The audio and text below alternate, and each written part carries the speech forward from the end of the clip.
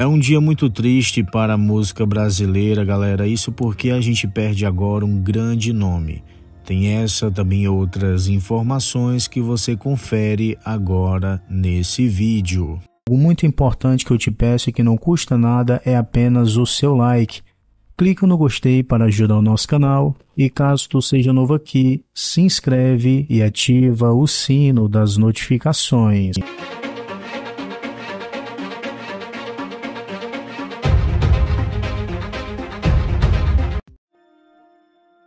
O anúncio da contratação de Eliana, feito na última quinta-feira, dia 27, movimentou as redes sociais.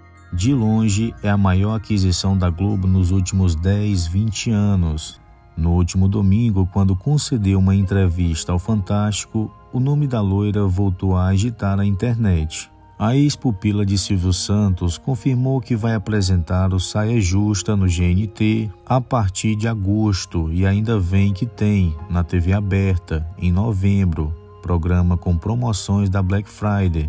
Como passo seguinte, Eliana estará à frente do The Mask Singer Brasil em substituição a Ivete Sangalo. O game show terá um especial em dezembro e uma nova temporada no início de 2025 ainda sem data definida. Todas essas novidades sobre o futuro profissional de Eliana, uma das mais seguidas comunicadoras do Brasil, colocam luz sobre outra figura tão importante quanto para o veículo e a história da própria Globo, a Angélica. A esposa de Luciano Huck, a exemplo de outros tantos colegas, deixou o Plim Plim em meio a uma onda de cortes que ainda não chegou ao fim.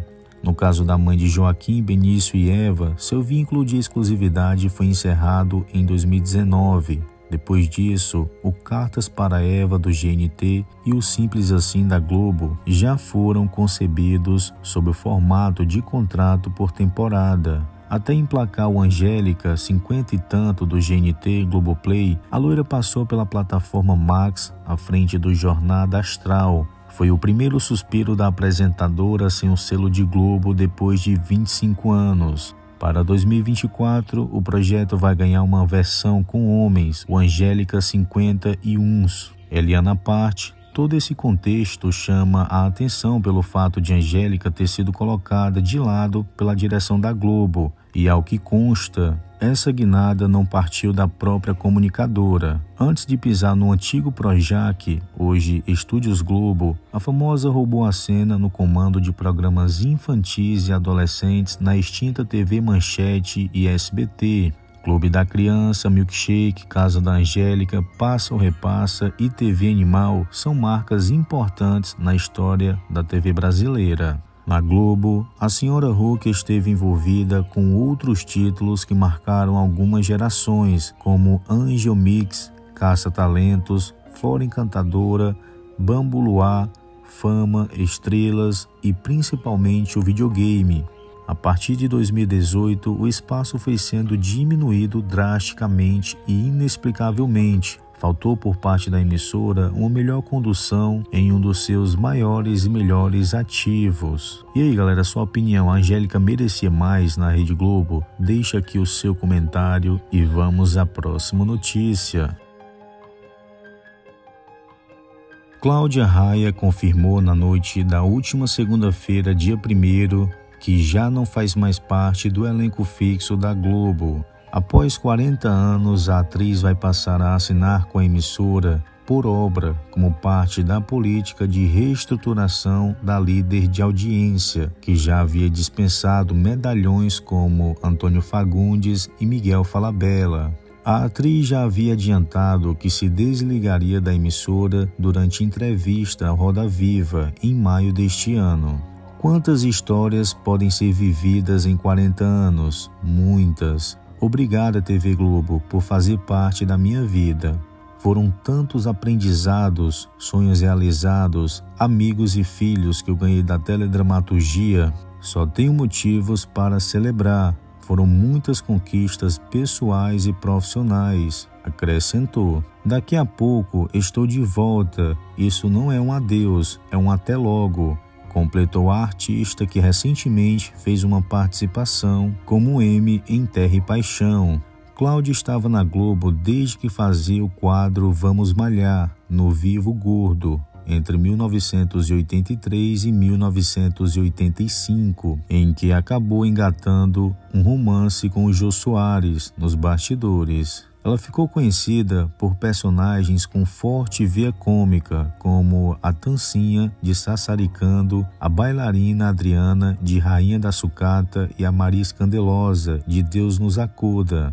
A intérprete posteriormente mostrou também uma vertente mais dramática, chamando a atenção como a protagonista de Engraçadinha, Seus Amores e Seus Pecados, baseada na obra de Nelson Rodrigues. A artista ainda é lembrada pela vilã que fez em Torre de Babel e pela Donatella de A Favorita. Ela atualmente estava em cartaz com o espetáculo Tarsília Brasileira, baseada na trajetória da artista plástica Tarsília do Amaral. Cláudia é casada com também ator Jarbas, com quem teve Luca em 2023. Ela também é mãe de Enzo e Sofia Celulari, fruto do seu casamento com o galã Edson Celulari. E aí, galera, o que é que vocês acham mais esse grande nome aí saindo da Rede Globo? Né? A Rede Globo agora adotou essa política de contrato por obra, ou seja, ela só vai aparecer na Rede Globo quando for contratada novamente. Deixa aqui a sua opinião nos comentários e vamos à próxima notícia. O sanfoneiro Antônio Manuel Ferreira Júnior, integrante da banda com a cantora Elisângela Alves, faleceu aos 42 anos. A causa da perda ainda não foi divulgada. No domingo, dia 30, o influenciador e cerimonialista Lucas Almeida Giotto revelou que Júnior tinha sido diagnosticado com falência de órgãos. Em série de stories publicada no Instagram com permissão de Elisângela Alves, deu detalhes sobre o estado de saúde do amigo com quem mantinha contato há 17 anos. Porém, na madrugada de hoje, o perfil oficial de Júnior e Elisângela compartilhou a informação do falecimento dele. Que notícia triste, né, pessoal? Que Deus possa confortar o coração de toda a família, amigos e admiradores. Vamos agora à próxima notícia. Na última segunda-feira, dia 1, a cantora Simone completou 48 anos e compartilhou um texto celebrando a vida dois anos após o diagnóstico de câncer ela fez uma retrospectiva sobre todo o processo e como teve muito medo de morrer. Apesar disso, a artista exaltou os passos que deu. Que loucura é a vida, né? Há dois anos, em 28 de julho de 2022, descobri um câncer. Tive que me desconstruir como mulher, olhar para o espelho e nem me reconhecer. Tive muito medo de morrer, porém a minha fé era muito maior, disse ela.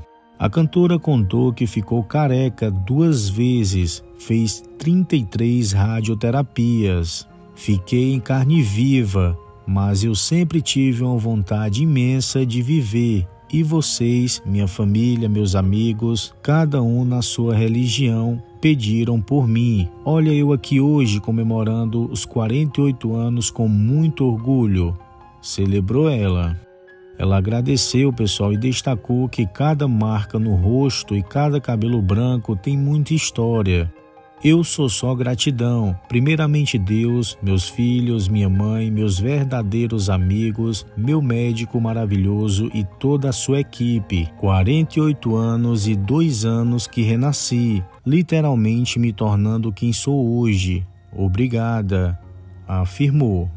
A cantora descobriu um câncer de intestino em agosto de 2022. No início de 2023, relatou que havia sido curada Pouco depois, por meio do seu médico, informou que novos exames constataram pontos da atividade da doença, dando início a um novo tratamento. No dia 7 de julho do ano passado, a cantora usou as redes sociais para falar que havia sido curada da doença, mas que iria continuar o tratamento de imunoterapia. Recentemente, Simoni compartilhou com seus seguidores que iria passar pelas sessões mensalmente por mais um ano. A imunoterapia é um tratamento que faz com que as células do sistema imunológico identifiquem mais facilmente as células do câncer atacando-as, na tentativa de exterminá-las, explica Flávio, médico especialista em câncer geniturinário de Oncoloclínicas em Belo Horizonte. Então é isso, né, galera? Dia de comemorar com a nossa querida Simone mais um ano de vida e aposto que muitos de vocês gostam da cantora. Deixa aqui o seu comentário que é muito importante e até o próximo vídeo.